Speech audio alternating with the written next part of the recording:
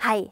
Når vi skal bygge veier, tunneler og høye hus, da trenger vi store maskiner som kan løfte, laste og frakte. Nå skal du få se hvordan vi skriver fem av dem, og hva vi kan bruke dem til. Veivals. Dumper. Gravemaskin. Heisekran. Lastebil. Veivalsen er stor og tung. Den gjør til dømes asfalten flat. Dumperen frakter store og tunge lass. Hvis du trenger et stort hull i bakken, da kan en bruke gravemaskin. Heisekrana løfter og flytter store og tunge ting. Lastebilen har et stort lasteplan.